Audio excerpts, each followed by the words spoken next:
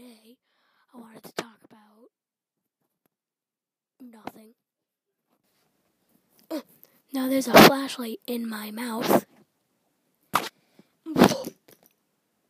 Uh, so if you haven't figured it out yet, this is just a video of me using my new microphone. And um, from now on, all my videos, I will be using this microphone.